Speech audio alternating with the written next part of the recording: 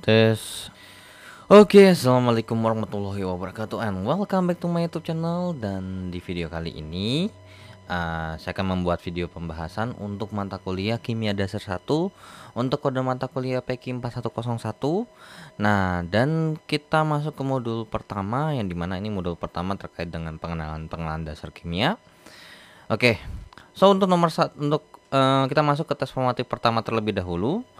Uh, beberapa contoh perubahan materi yang sering kita alami dalam kehidupan sehari-hari, fermentasi pada pembuatan tape, besi berkarat, fotosintesis, bensin menguap, dan kamper menyublim. Hal yang merupakan perubahan kimia yang mana? Oke, okay. uh, intinya gini ya.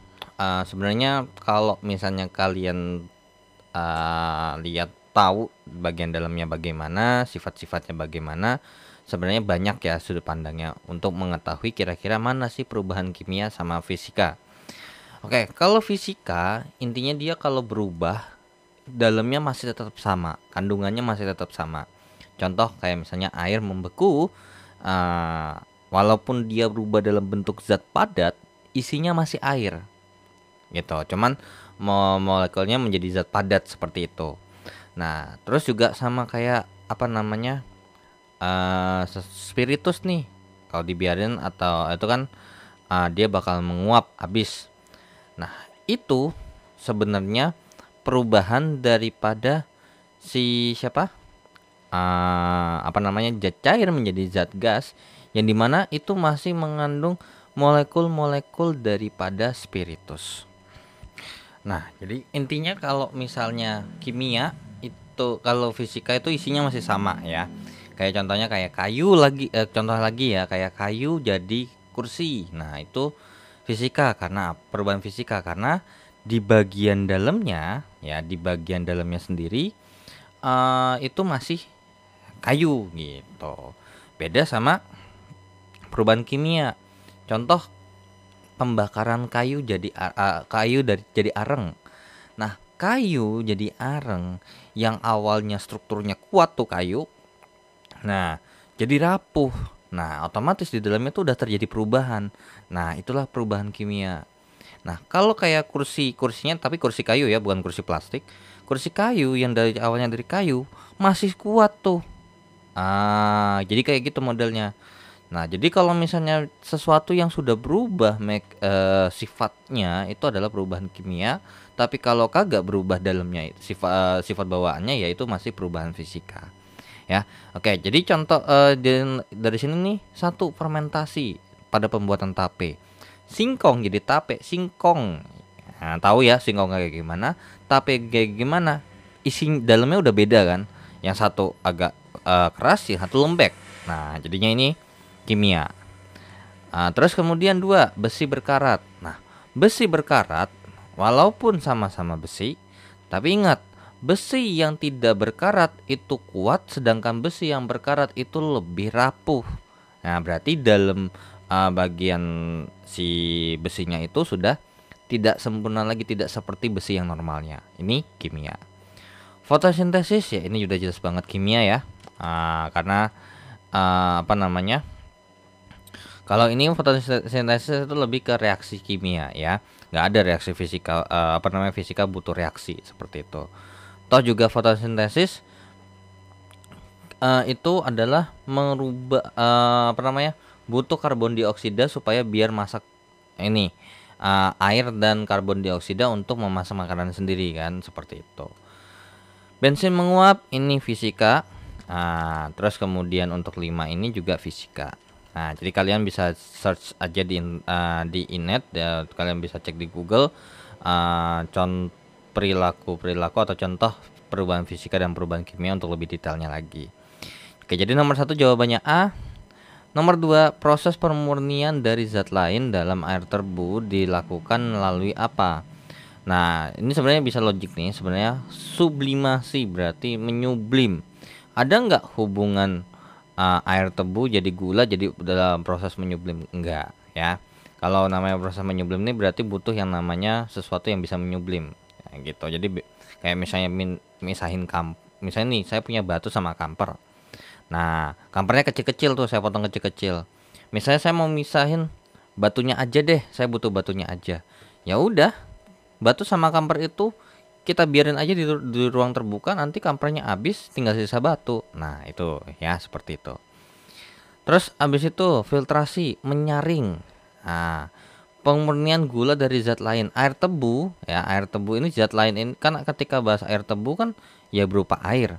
Yang di mana beda uh, filtrasi. Filtrasi itu kan menyaring yang di mana terkait dengan ukuran partikel.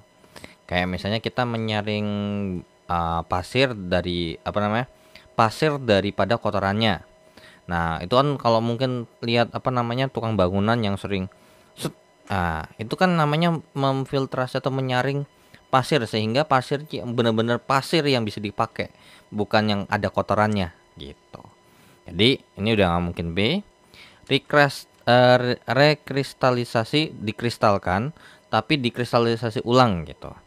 Nah air tebu dari air menjadi zat padat itu adalah proses kristalisasi. Nah jadi pemurnian kembali ya berarti ini adalah rekristalisasi. Kalau yang D mungkin nggak? Yang D nggak mungkin. Kenapa karena ini pemisahan jat, uh, pemisahan berdasarkan titik didih.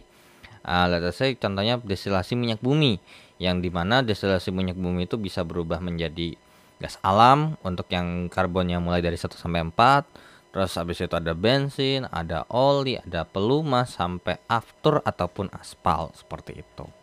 Ya oke jadi soal nomor satu jauh uh, A dua dan dua jawabannya C. Dan kita lanjut ke soal berikutnya Nah, kita hapus untuk soal nomor 1 dan nomor 2 dan kita lanjut ke nomor 3 sampai 5. Uh, iodin merupakan salah satu contoh zat yang memiliki perbedaan titik lele dan titik didih yang tidak begitu besar, sehingga pemurnian iodin dari pengotornya bisa dilakukan dengan cara apa? Nah, kita cek dulu nih.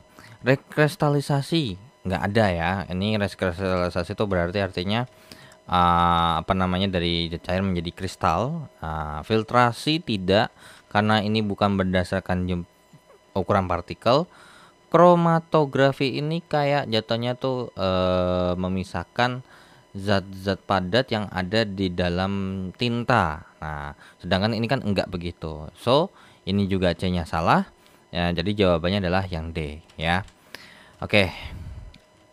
Kita lanjut ke nomor 4 di antara zat berikut yang partikelnya berupa molekul garam dapur.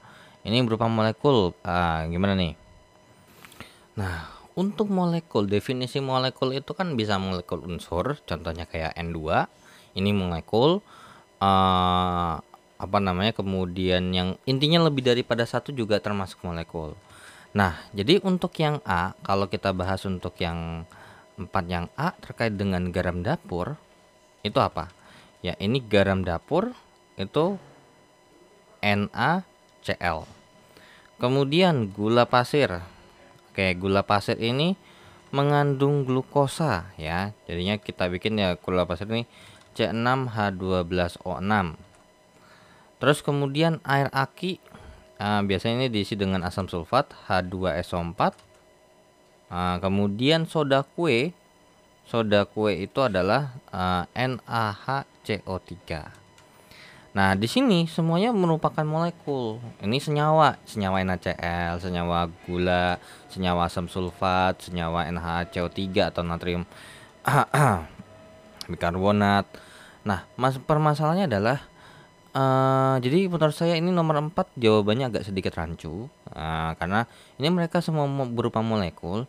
Cuman kalau misalnya di pilihan gandanya ini jawabannya B dan ini jawabannya adalah gula pasir, ya ini adalah sesuatu yang emang paling berbeda. Kenapa? Karena gini, ini adalah uh, bisa mengion ya. Uh, jadi misalnya NaCl nih, uh, berarti NaCl itu kalau ketika kita masukkan air jadi Na plus tambah Cl min. Nah kalau ini bagaimana C6H12O6 nggak bisa kit nggak bisa terjadi karena emang bukan ion uh, bukan terdiri dari ion-ion H2SO4 terurai menjadi 2H plus tambah SO4 2 min. Nah ini NaHCO3 itu terurai menjadi Na plus tambah HCO3 min. Nah, dari mereka berempat yang jawabannya yang sesuai dengan yang B ini adalah yang tidak bisa mengion alias larutan non elektrolit. Seperti itulah kalau kasarnya, ya. Nah, jadi uh, uh, I think uh, ini nomor 4 kayaknya berupa molekul yang tidak bisa mengion. Nah, itu jawabannya B. Jadi kalau emang mau ada jawaban B, ini kita harus ralat soal. Tapi karena soalnya begini ya sudahlah biarkan apa adanya aja, ya. Oke, nomor 5 lanjut. Di antara perubahan berikut yang tidak menunjukkan terjadinya reaksi kimia. Oke. Perubahan massa Apakah ini uh, terjadi reaksi kimia? Tentu tidak. Karena yang namanya perubahan massa itu kan uh, biasanya uh, karena ya dikurangin gitu loh. karena massa itu kan tetap aja ya. Misalnya uh, ini 5 kilo, saya punya sesuatu 5 kilo ya kalau uh, misalnya saya kurangin nggak uh, ada kan hubungan sama perubahan uh, sama reaksi kimia. Jadi ini emang betul terjadi endapan ini ada ya reaksi kimia tuh kalau misalnya tidak semua uh, terjadi endapan nih bahasa kasarnya nih, paling gampangnya adalah kalau bikin kopi. Uh, kopi diseduh air kopinya diminum ampasnya atau endapannya ya dibiarkan saja tidak diminum. Kan ada reaksi kimia kan di situ? Ada. Perubahan warna ini juga pasti ya karena biasanya terkait dengan uh, reaksi kimia itu sama aja kayak kalau kita nyampurin sesuatu kayak misalnya kita apa namanya ngecek uh, uji uh, melakukan uji makanan. Nah, melakukan uji makanan itu biasanya terjadi perubahan warna. Atau kalau enggak kita mau ngecek asam basa tapi pakai indikator. Nah, bukan pakai kertas lakmus ya. Uh, beda ya kertas lakmus itu bukan bu, uh, bu, modelnya bukan begitu sistem kerjanya.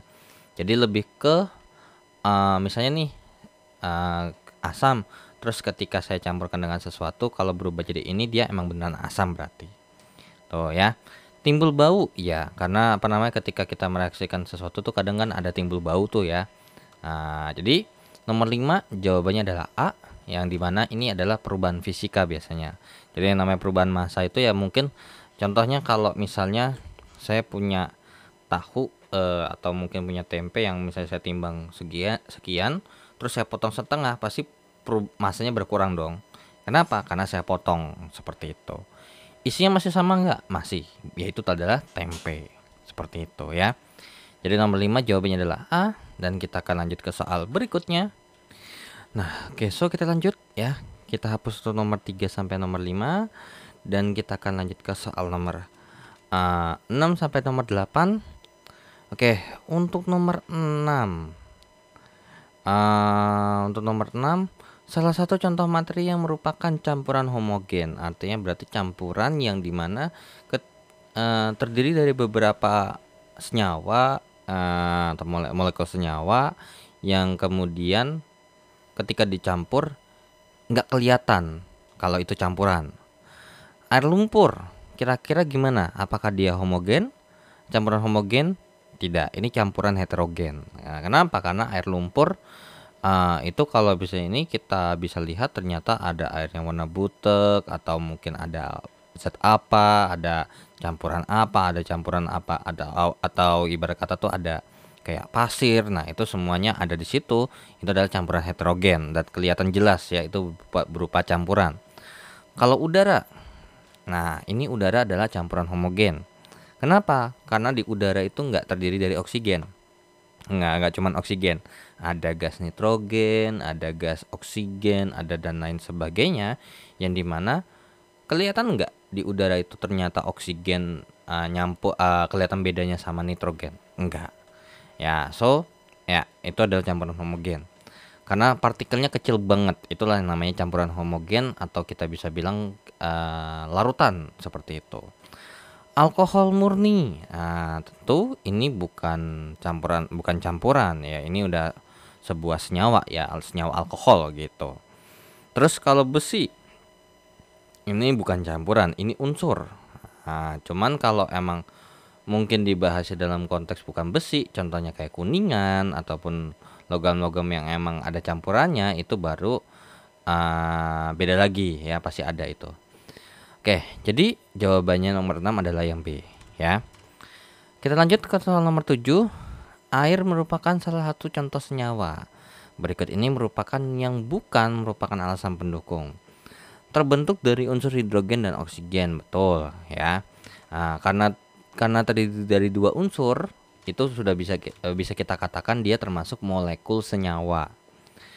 Air dapat terurai menjadi H2O, H2 dan O2 melalui proses elektrolisis. Ya, betul.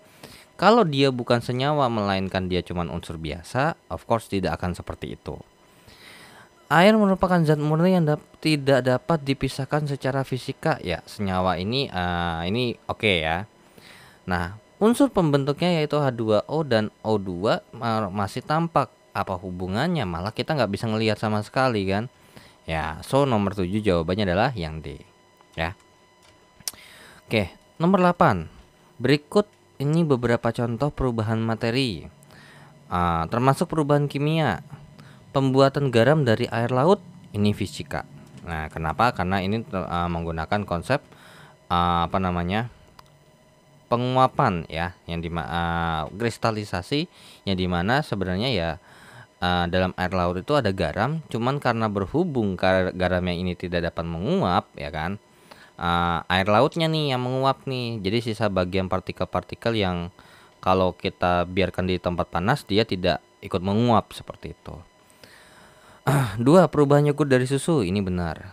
Kenapa? Karena sifat uh, isi uh, apa namanya sifat-sifat susu sama yogurt sudah berbeda. Susu uh, yogurt itu kan asam gitu ya sedang uh, karena proses fermentasi. Kalau susu kan nggak begitu.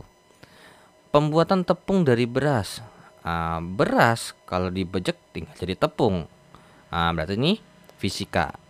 Pengembangan kue menggunakan soda, ya soda uh, apa namanya soda soda kue ya. Uh, di mana kue yang awalnya biasa seperti uh, apa namanya uh, saya biasanya mungkin kue bentuknya bantet apa gimana kalau dikasih pengembang dia akan mengembang ya kan? Nah itu bed yang nggak pakai soda kue sama yang pakai soda kue of course akan berbeda. Jadi ini kimia. Maka saat dua dan empat ya yang termasuk perubahan kimia maka jawabannya adalah yang D. Oke? Okay? kita lanjut ke soal berikutnya Nah, oke, okay, so kita hapus untuk nomor 6 sampai nomor 8 dan kita akan lanjut ke soal nomor 9 dan 10. Di antara contoh zat berikut yang bukan merupakan unsur raksa. Uh, ini kita bukan bahas air raksanya ya. Raksa itu termasuk unsur karena apa? Dia termasuk ke Hg. Oke. Okay. Aluminium iya, ini ada unsurnya sendiri Al. Perunggu itu tidak. Krom uh, apa namanya? Uh, perunggu itu merupakan uh, apa namanya dia merupakan bagian apa namanya campuran sebenarnya ya dari tengkuningan seperti itu. Tembaga ya ini tembaga adalah CU ya. So berarti jawabannya adalah yang C ya. Nah untuk soal nomor 10 emas dan tembaga mempunyai warna yang hampir sama Apabila kita memisahkan kedua logam tersebut, cara yang dapat kita lakukan adalah filtrasi tentu tidak ya. Uh, ini kan berarti artinya campuran. Kalau uh, mungkin kalau misalnya emang dalam konteks emasnya gede atau mungkin emasnya lebih gede daripada tembaga itu oke. Okay. Tapi uh, I think nggak begitu. Coba kita cari lagi pelarutan. Uh, ini mungkin kita bahas terkait dengan yang namanya uh, bukan dilarutkan ke dalam air ya uh, ini contohnya tuh kayak dilelehin uh, ini masih oke okay. destilasi udah pasti nggak mungkin kromatografi nggak mungkin nah uh, kan emas dan tembaga mempunyai warna yang hampir sama nah berarti kira-kira Oke, berarti di sini membahas terkait dengan oh berarti molekulnya sama nih. Kita nggak bahas molekul di sini. Berarti yang A ini juga salah. So jawabannya adalah yang B ya. Nah, so uh, ini untuk tes formatif uh, yang pertama dan kita akan lanjut ke tes formatif yang kedua. Untuk masih dengan modul 1. Nah, di tes formatif kedua terkait dengan konsen, uh, lebih ke konsentrasi seperti itu, larutan cuka yang dijual pasaran umumnya bertuliskan konsentrasi 25%. Uh, v per V. Apabila larutan tersebut volumenya adalah 0,5 liter, nah berarti uh, dan masa jenis cukanya adalah 1 gram per mililiter, maka uh, pembuatan larutan cuka tersebut kira-kira uh, cuka yang dilarutkan asam cuka yang dilarutkan itu berapa. Jadi uh, maksudnya gini. Uh, kan ketika apa namanya? Uh, contohnya kayak misalnya kita pak uh, punya larutan ini sekian persen, artinya berarti tidak 100% murni alias berarti dicampurkan mungkin ke dalam air kayak atau ke dalam apa. Nah, jadi uh, sebenarnya itu logik aja. Sebenarnya bisa kita akalin dengan cara apa? Uh, jadi kan gini ya. Katanya kan volume larutannya uh, 0,5 liter. Kan gitu.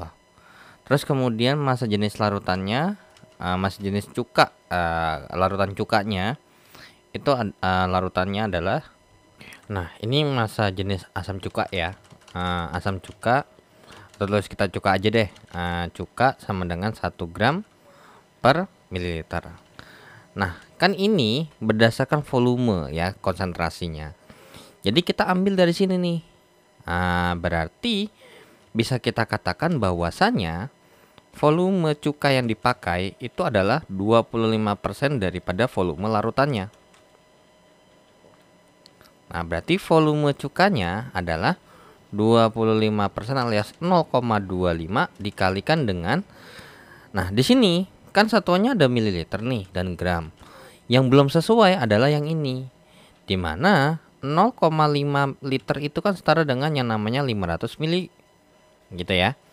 Jadi kita masukinnya 500 saja. Nah, ya udah. Tinggal berapa tuh?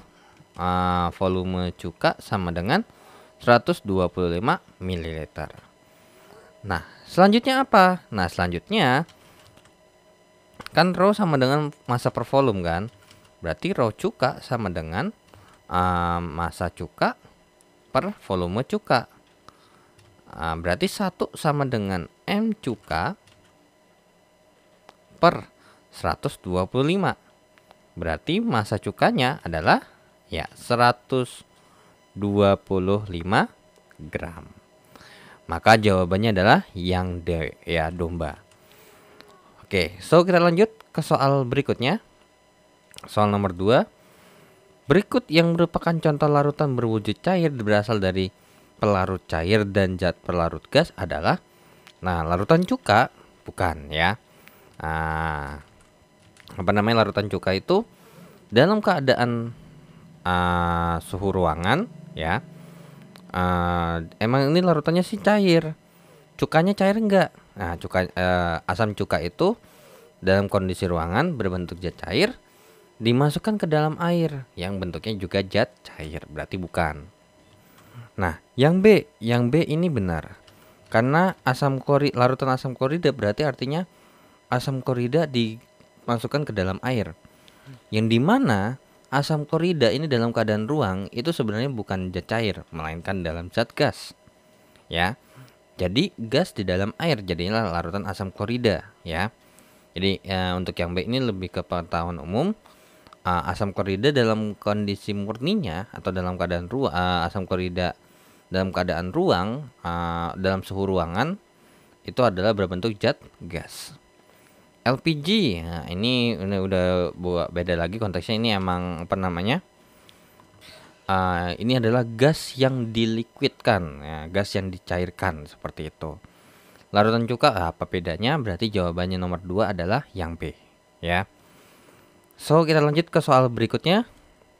Nah kita lanjut ke soal berikutnya. Kita hapus nomor 1 dan nomor 2 nya kita lanjut ke nomor 3 dan 4 suatu larutan alkohol uh, dibuat dengan cara melarutkan 50 ml ke dalam uh, ini ke dalam 500 ml aquades. Kira-kira konsentrasi larutannya berapa berdasarkan volume?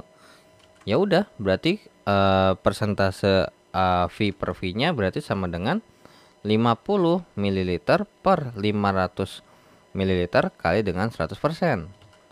Nah, berarti jawabannya berapa? Jawabannya adalah Nah, tapi apakah jawabannya seperti ini? Enggak. Ingat, uh, rumus dasarnya adalah dia per totalnya. Nah, ketika ya, ketika kita anggap aja deh kita punya uh, 50 ml di sini ya. Ini 50 ml. Terus di sini ada uh, aquades yang uh, 500 ml. ketika digabung ke sini, maka apa yang akan terjadi? Ya, yang akan terjadi adalah akan naik dikit nih. Di mana ini bukan 500 ml lagi, melainkan 500 ml. Nah, jadi pasti nambah dong ya kan satuan uh, ininya. Berarti ini bukan per 500, melainkan per 550. Sehingga ini jawabannya adalah sekit, uh, sebesar 9,1 persen.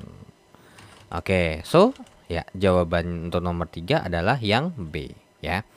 Ini sama kayak di nomor satu yang di mana asam cuka per total larutannya gitu loh. Jadi uh, dalam 500 ml larutan itu sebagiannya air, sebagian dia lagi asam cuka seperti itu ya. Oke, so kita lanjut ke soal nomor 4. Peralatan gelas yang paling utama diperlukan dalam pembuatan larutan dengan konsentrasi dan volume tertentu adalah apa? Nah, ini jawabannya untuk nomor 4 adalah yang B ya. Uh, labu takar. Berikut ini yang termasuk contoh larutan non elektrolit yang mana nih? Nah, ini non elektrolit pasti karena uh, gula ini tidak dapat menghantarkan listrik. Kalium permanganat ini oke. Okay. Garam apalagi kalau udah masuk garam-garam itu pasti merupakan larutan elektrolit kuat ya. Nah, jadi nomor 5 jawabannya adalah yang A. Nah, kita hapus untuk nomor 3 sampai nomor 5 dan kita akan lanjut ke nomor uh, 6 dan 7. Oke, untuk nomor 6 uh, diinformasikan bahwasanya uh, proses pembuatan larutan melalui pengenceran satuan jumlah yang sama antara larutan pekat dan larutan encernya adalah mol. So, di sinilah uh, konsep mol sebelum uh, sebelum pengenceran ya mol sebelum itu sama dengan mol sesudah yang di mana uh, apa namanya untuk si sebelum ini ini adalah kondisi yang pekat uh, yang ini adalah kondisi yang lebih encer seperti itu jadi nggak perlu repot-repot uh, biasanya kan ini terkait dengan mungkin ini juga bisa kita pakai dengan titrasi seperti itu cuman kalau untuk sebelum sama sesudah itu lebih bahasanya lebih dipakai untuk uh, mengencerkan. Kalau yang uh, asam basa itu terkait dengan titrasi itu adalah mencampurkan asam dengan basa. Tapi konsepnya sama. Kalau misalnya untuk netral berarti mol asam sama mol basanya sama. Tapi kalau di sini adalah mol sebelum sama mol sesudahnya itu sama. Karena uh, walaupun diencerkan jumlah molekul atau ininya akan tetap sama ya. Yang berbeda hanyalah konsentrasi dan volumenya seperti itu. Oke, nomor lanjut nomor 7. Uh, data pengujian elektrolit. Oke. Uh, oke, ada datanya. Berikut kesimpulan dari pengamatan. Oke. Minyak merupakan zat non elektrolit. Ya, betul karena tidak menyala. Partikel pembentuk garam adalah molekul, ini enggak ada hubungannya, mau dia molekul mau apa, ya nggak ada hubungannya sama dia bakal uh, larutan elektrolit ataupun non elektrolit. Larutan garam lebih dapat menghantarkan listrik daripada air jeruk. Ya, betul, karena larutan garam menyala, uh, lam, nyala lampunya lebih terang daripada yang pakai air jeruk. Kemudian air jeruk kurang bersifat elektrolit dibandingkan larutan garam. Ya, ini benar. Uh, yang di mana ini nilainya sama dengan yang nilai yang C ya. Maksudnya pernyataan yang C. Jadi uh, ibarat kata tuh yang D ini kemampuan elektrolitnya kurang, uh, air jeruk nih lebih cupu atau lebih lemah daripada garam. Yang di C ini garam lebih kuat atau lebih hebat daripada air jeruk seperti itu. Jadi nomor uh, 7 adalah yang B ya. Nah, kita hapus untuk nomor 6 dan nomor 7-nya dan kita akan lanjut ke soal nomor 8, 9 dan 10. Untuk nomor 8 uh, dan nomor uh, oke. Okay untuk nomor 8, jika kaporit sebanyak 3 mg dilarutkan dalam uh, air sampai menghasilkan volume larutan atau volume totalnya sebesar 0,5 liter dengan masa jenis larutannya adalah seperti ini, maka dikat, dikatakan kadar kaporitnya dalam ppm. Jadi uh, ppm that means part per million per juta berarti. Jadi kalau ini 6 misalnya 1,5 ppm berarti 1,5 per 10 pangkat 6 seperti itu. Nah, jadi kan kalau part per million itu dibagi 1 juta atau 10 pangkat 6. Berarti kalau kita mau nyari part per million berarti dikalikan dengan 10 pangkat 6. Ya udah gampang sebenarnya. Ini tinggal kadarnya kan 3 mg nih. Berarti kita harus nyari larutannya dalam satuan gram dulu. Nah, di sini kan berarti 0,5 liter itu kan setara dengan 500 ml ya. Oke, jadi untuk nomor 8 uh, untuk nomor 8 uh, row sama dengan massa per volume. Berarti satu sama dengan M per 500 berarti M nya adalah 500 gram ya. Nah tapi sayangnya di sini miligram nih. Berarti di sini sama dengan apa? Ya dikalikan dengan 1000 jadinya 500 ribu miligram ya sudah persentase kadarnya atau persentase kadar sama dengan 5 eh sorry 3 per 500 ribu kali dengan 1 juta alias 10 pangkat 6 Nah ini satu ini dua. Berarti jawabannya adalah 6 ppm So jawaban nomor 8 adalah yang domba Ya. Dan kita lanjut ke soal nomor 9 Materi berikut yang bukan merupakan larutan air laut. Ya larutan dia Karena uh, ada zat-zat terlarut di dalam air. Uh, di dalam air laut lah intinya. Gula pasir gula pasir ini bukan larutan. Kalau air gula baru larutan.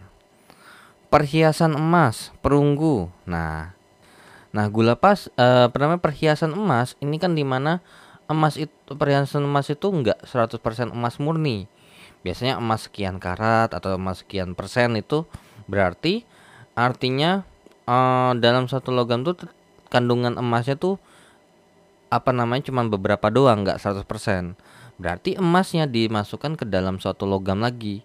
Nah ini masih bisa kita katakan dia sebagai larutan atau campuran lah bahasa kasarnya. Perunggu ya ini termasuk ya.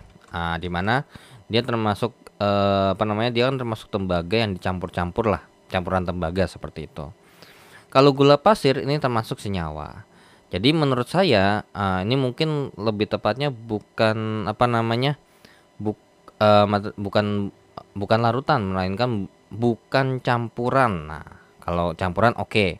Soalnya kenapa? Karena C sama D ini kan ini enggak ada yang uh, apa namanya pelarut sama zat terlarutnya. Jadi menurut saya ini uh, mungkin lebih pasnya kalau diganti dengan konteksnya adalah campuran seperti itu. Nah, apakah dia homogen ataupun heterogen ya kita nggak bakal peduli lah intinya. Jadi kalau menurut saya ini lebih tepatnya untuk campuran ya. Kalau larutan artinya berarti ada yang terlarut, ada pelarutnya seperti itu. Oke, so nomor 10 contoh batuan seberat 100 mg mengandung 25 mg perak dan 1 mg emas.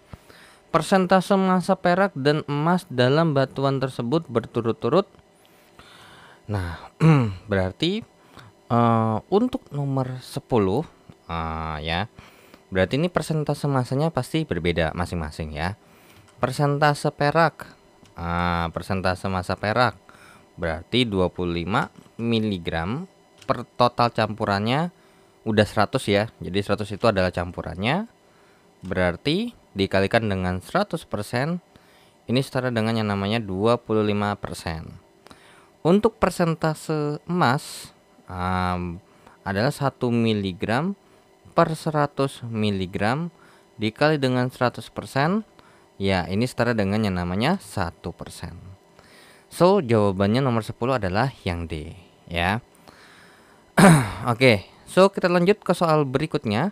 Nah, ini kan tes formatif uh, kedua ya. Nah, so kita lanjut ke tes formatif ketiga terkait dengan hukum dasar kimia Nah, kita hapus untuk nomor 8, 9, dan 10-nya dan kita akan lanjut ke tes formatif ketiga dari nomor 1. Ah, oke. Okay. Dari soal nomor 1 berikut pasangan senyawa yang sesuai dengan hukum perbandingan perbandingan berganda. Nah, hukum perbandingan berganda ini membandingkan dua senyawa yang memiliki unsur yang sama. Tuh. Jadi uh, contohnya yang C Nah, kalau yang A kenapa? Karena karena nggak bakal adil. Namanya hukum perbandingan berganda kan berarti double nih. Nah, kalau H2O sama H2S yang mungkin bisa kita bandingin hanya doang. O sama S-nya bisa nggak? Ya jelas nggak bisa. Karena apa? Karena O sama S ini udah merupakan unsur yang beda. Jadi nggak bisa kita bandingkan seperti itu. Nah, jadi makanya jawabannya adalah C ya. Jadi terkait dengan hukum perbandingan berganda itu membandingkan dua senyawa yang berbeda namun isi uh, terdap uh, memiliki unsur yang sama. Ya, jadi ibarat kata tuh uh, saya punya unsur yang sama, tapi kalau misalnya unsurnya itu saya otak-atik komposisinya, biasanya menghasilkan senyawa yang berbeda. Seperti itu, ya. Oke, nomor 2. Perbandingan massa kalsium oksigen membentuk kalsium oksida adalah seperti ini. Uh, jika massa oksigennya 5,7 gram, maka massa kalsiumnya berapa? Ya udah, ini gampang ya. Uh, ini coba kita cek dulu apakah ini 100%? Yap, ini 100% ya pas ya kalau digabungin. Nah, so katanya kalau yang persentasenya 71, uh, yang kan nih oksigen nih katanya uh, yang persentasenya 28,53 tuh 5,7 gram. Berat. Uh, jadi soalnya tuh gini maksudnya soal nomor 2 tuh. Yang 28,53 persen itu uh, ini adalah 5,7 gram. Nah kalau yang 71,74 persen ini kira-kira berapa gram sih? Ya sudah kita pakai perbandingan saja sebenarnya. Jadinya berarti 71 ah apakah bisa kira-kira Nah, ini bisa ya kalau pakai perbandingan. Jadi uh, tinggal 28,53 uh, persen per 71,74 persen uh, sama dengan 5,7 per X. Uh, seperti itu. Berarti X uh, ini mungkin bisa kita coret aja. Nah, jadinya berarti X dikalikan dengan 28,53 sama dengan 5,7 kali dengan 71,74. Berarti X-nya sama dengan 5,7 kali dengan 71,74 per 28,53. Maka nilai X-nya berapa nih? Ya udah. Langsung kita hitung saja menggunakan kalkulator. Berarti 5,7 kali dengan 71,74 dibagi dengan 28,53 jawabannya adalah 14,33 nah jadinya berarti 14,33 gram. Oke berarti jawaban yang mendekati adalah yang B. Ya mungkin karena apa namanya dilakukan pembulatan dua angka di belakang koma tapi uh, dibulatkannya jadinya 33 dibulatkan menjadi 30 mungkin ya yang walaupun sebenarnya ini 14,33 ini udah dilakukan pembulatan loh sebenarnya. Tuh. Oke so kita lanjut ke soal berikutnya. Nah kita hapus untuk soal nomor 1 dan nomor 2 dan kita lanjut ke nomor 3 dan 4 nomor 3 data berikut yang tidak mengikuti hukum kekekalan massa. Yang di mana hukum kekekalan massa ini berbunyi masa sebelum reaksi dan sesudah reaksi. Itu sama. Nah kira-kira mana nih? Oke yang nah ini kan bentuknya ya berarti persamaan reaksinya kurang lebih seperti ini ya Fe ditambahkan dengan S menjadi FeS seperti itu ini 7 tambah 4 sama dengan 11 oke okay. 28 tambah 20 sama dengan 48 oke okay. 21 tambah 12 sama dengan 33 oke okay. 42 tambah 24 sama dengan 66 oke okay. loh ini benar semua tapi ada yang aneh. Ah, ya. Apa yang aneh? Karena gini kalau kita perhatikan dari tiga ini kalau misalnya ya kita anggap yang A benar coba deh perhatiin.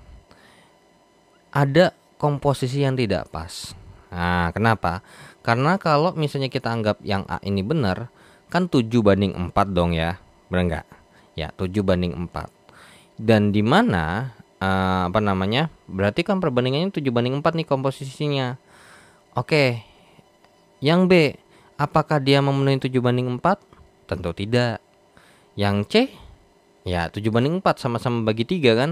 Uh, yang D 42 banding 24 ya benar 42 banding 24 ini kan kalau kita bandingin kan jadinya 7 banding 4 sama-sama dibagi 6 ya so berarti yang nggak sesuai adalah yang B Nah, seperti itu ya. Nah, lanjut ke soal nomor 4. Dua macam senyawa yaitu H2O dan H2O2, air dan hidrogen peroksida dapat dibentuk oleh unsur H dan unsur O. Uh, hal ini sesuai dengan hukum yang mana? Ya, hukum perbandingan berganda. Karena apa? Karena yang kita mau bandingkan adalah dua senyawa yang berbeda tapi isi unsurnya sama.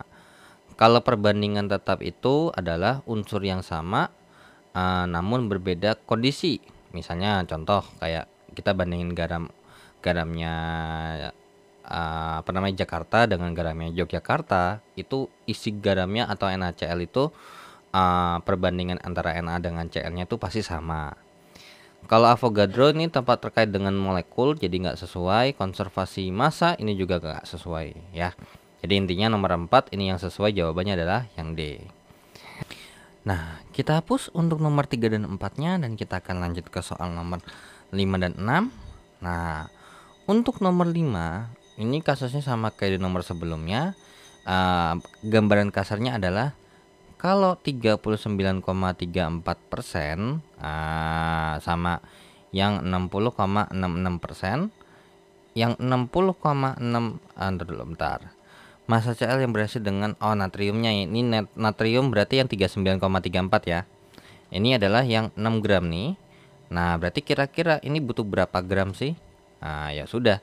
Berarti bisa kita kerjakan dengan menggunakan perbandingan senilai ya pasti. Nah, atau mau pakai perbandingan yang yang ditanya sama dengan yang diketahui per, per perbandingan yang ditanya ah, sorry jumlah yang ditanya sama dengan perbandingan yang ditanya per perbandingan di yang diketahui kali jumlah yang diketahui itu juga boleh. 60,66 sama dengan 6 per X. Berarti X dikalikan dengan 39,34 sama dengan 6 kali 60,66 berarti X nya adalah 6 kali dengan 60,66 dibagi dengan yang namanya 39,34 berarti nilai X nya berapa nih? Ya kan? Uh, eh, 6 kali 60,66 bagi dengan 39,34 jawabannya adalah 9,25 9,25 gram. Maka jawaban soal nomor 5 adalah yang D. Dan kita lanjut ke soal nomor 6 ya. Soal nomor 6 reaksi di bawah ini yang tidak mengikuti hukum kekekalan massa 2 gram hidrogen bereaksi dengan 16 gram oksigen menghasilkan 18 gram air. Ini oke. Okay. Uh, 2 tambah 16 sama dengan 18. Kita cek di situnya dulu aja. Uh, 32 gram belerang tambah 64 gram tembaga membentuk 96 gram tembaga sulfida. Betul. Uh, 7 gram besi bereaksi dengan 4 gram membentuk 11 gram sulfida. Betul. 24 uh, ini dengan 28 nitrogen membentuk 52 gram magnesium sulfid nitrida ini juga benar. Cuman masalahnya apa? Loh, kok ini benar semua? Nah, jadi sebenarnya di nomor sebelumnya ini ada hubungannya dengan AR, ya.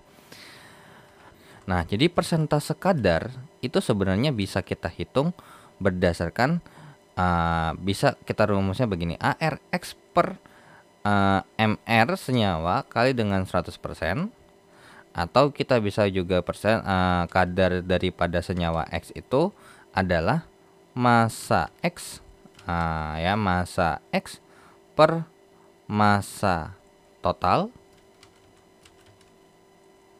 kali dengan 100%. Nah, jadi kalau misalnya ini kita lihat nih kadarnya kadarnya pas enggak? Nah, contoh untuk yang A berarti kita harus ngecek nih satu-satu. Untuk yang A, uh, apa namanya? AR daripada uh, hidrogen ini satu, untuk AR oksigen ini adalah 16. Dan yang kita bahas adalah H2O. Oke, berarti persentase H-nya adalah sigma ARH per MR. Nah, di mana uh, ini langsung uh, untuk MRH2O ya. Untuk MRH2O itu sama dengan 2 kali ARH tambah 1 uh, eh, tambah ARO. Jadinya 2 kali 1 tambah 16 sama dengan 18.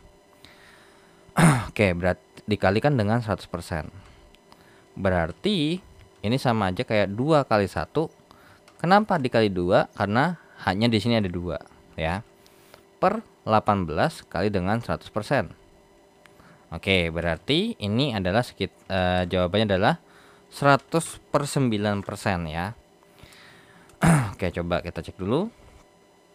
Uh, 2 banding 18 itu adalah 1 per 9 ya. Uh, saya bilang aja mungkin 100 per 9 uh, wait dulu uh, 100 bagi 9 itu jawabannya adalah 11,1 persen nah, oke okay, 11,11 persen Oke, untuk persentase O itu berarti sigma ARO per MR kali dengan 100%. Berarti uh, 16 per 18 kali dengan 100%. Nah, berarti berapa nih? Nah, 16 berarti 1600 bagi 18. Jawabannya adalah 88,88 persen. Artinya berarti apa nih? Ya, perbandingannya hak banding O ini adalah 11,11 persen banding dengan 88,88 persen. Atau bisa kita bilang apa? 1 banding 8. Nah, pas nggak nih 1 banding 8? Oh, pas. Nah, ya sudah. Berarti uh, untuk yang A ini oke. Okay. Karena udah lulus ya daripada ujinya. Nah, terus kemudian untuk yang B. Oke. Okay. Untuk yang B itu uh, terkait dengan tembaga sama uh, belerang ya. Uh, ya belerang untuk ARS ini adalah 32 dan untuk AR daripada CU itu adalah 64. Nah, atau sebenarnya mungkin lebih uh, ini adalah 63,5. Dan yang kita bahas adalah tembaga sulfida.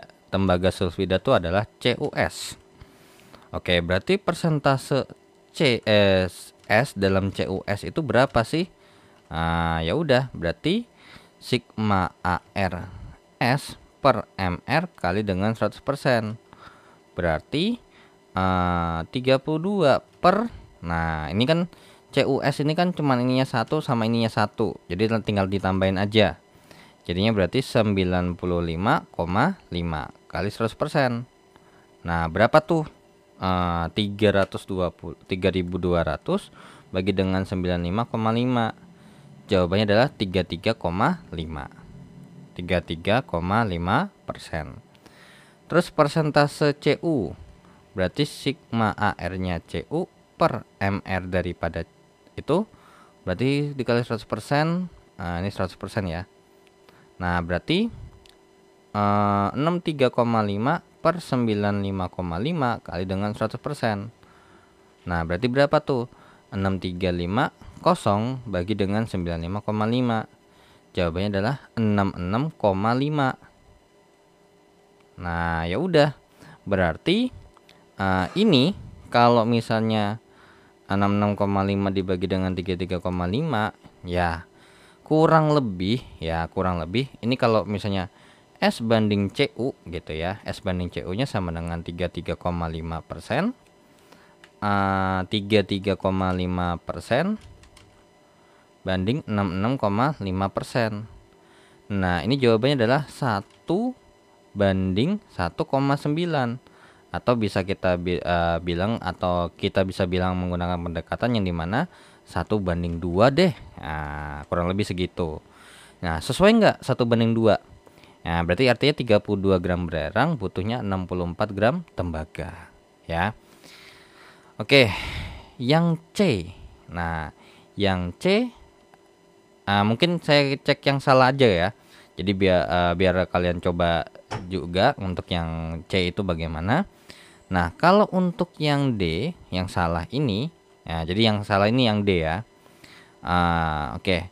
24 uh, sorry 24 gram uh, mg berarti mg ini uh, untuk AR nya adalah 24 terus kemudian AR nitrogen itu adalah sebesar uh, eh, 14. Nah, magnesium nitrida. Oke, bagaimana dengan magnesium uh, nitrida itu? Uh, Oke. Magnesium nitrida itu adalah Nah, jadi uh, magnesium nitrida itu adalah Mg3N2 ya.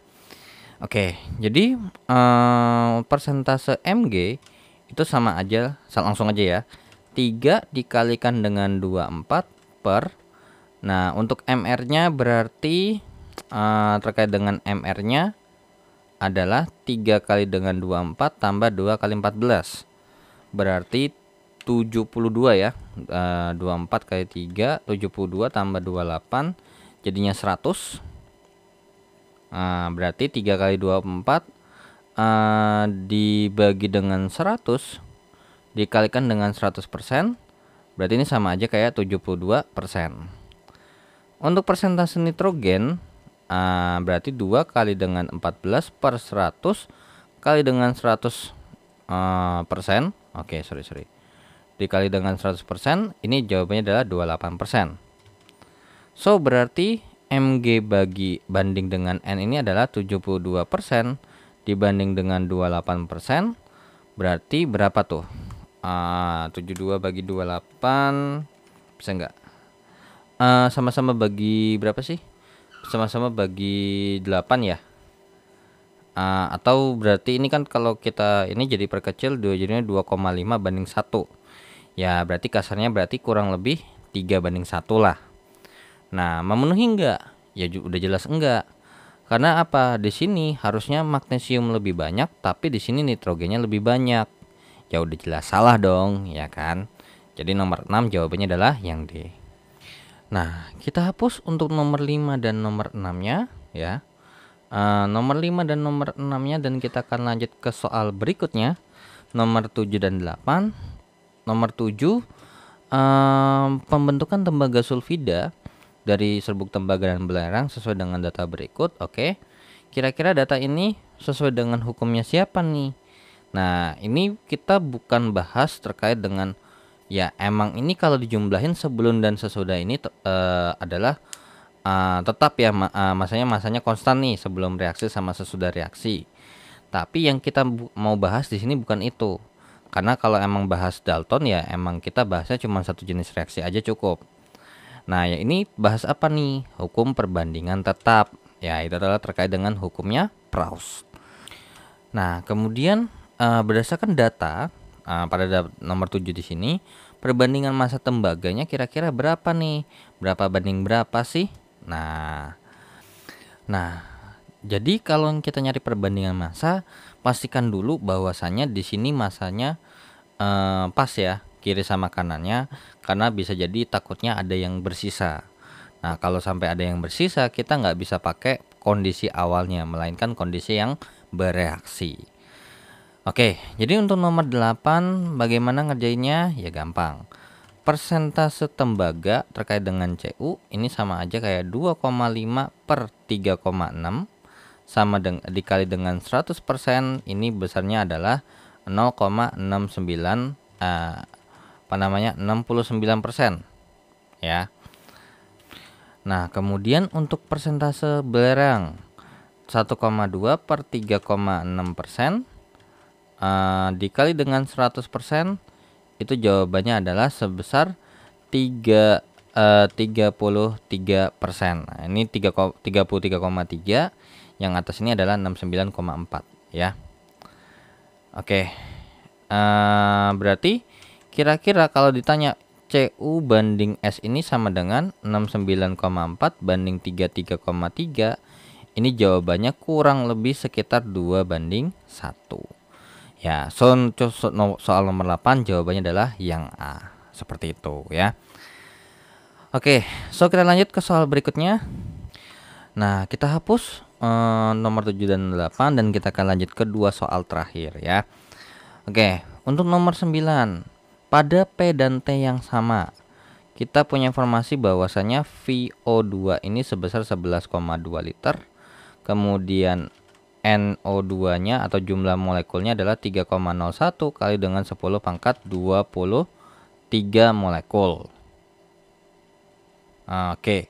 Kemudian kita ditanya lagi pada suatu kondisi yang sama, volume gas nitrogen sebesar 2,24 liter dan N daripada N2 di sini uh, sebesar 6,02 kali dengan 10 pangkat 23 molekul. Kira-kira ini ber, uh, bersesuai dengan hukum apa? Ya, sesuai dengan hukumnya Avogadro ya.